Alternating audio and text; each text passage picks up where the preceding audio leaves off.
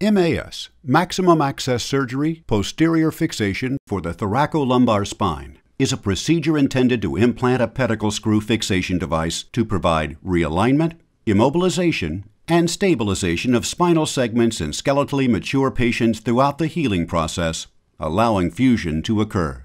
Maximum access surgery, posterior fixation, is a minimally disruptive approach to provide additional support for your interbody fusion procedure.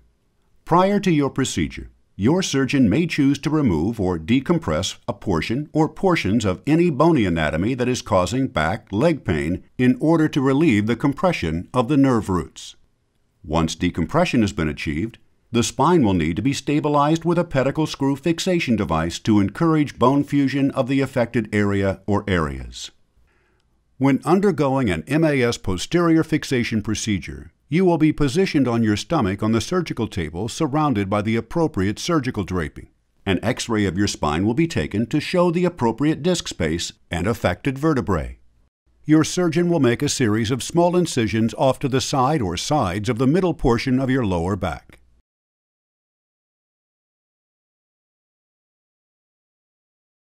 Next, your surgeon will then place screws into the vertebrae that will be utilized at the end of the procedure to provide fixation.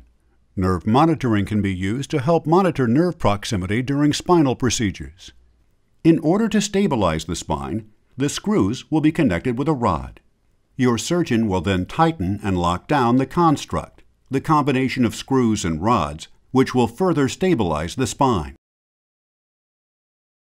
This stabilization will encourage bone to grow and fuse the vertebrae into the postoperative position.